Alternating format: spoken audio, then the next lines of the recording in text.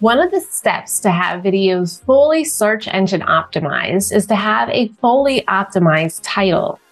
When you do this, you want to make sure that you have 70 characters. You'll see here that this particular video that does have a 100% SEO score does use all 100 out of 100 characters for your title.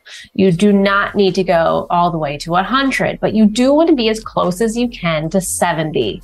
When writing this, the first 30 characters are seen in the wall as people are scrolling, and the final 40 is only really seen when someone clicks on the video, but the search engines are seeing it. So you want to make sure that you're putting some search engine optimized phrases and keywords in that title.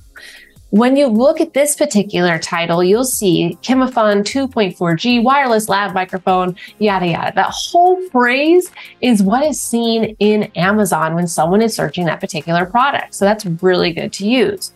You also may want to consider using the phrase how to because how to is the number one used search phrase.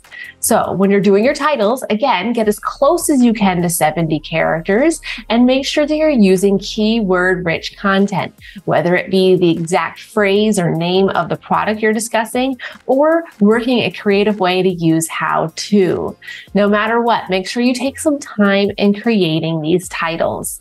If you found this video interesting, please make sure you subscribe to our channel and then click on the bell so you're notified every Friday at 5 p.m. Arizona time that a new video has been posted. For one-to-one training or just to support our content, please click above and connect with us on our Patreon page. And let me me know if this video helped you. And if you have any questions, please leave them in the comments below.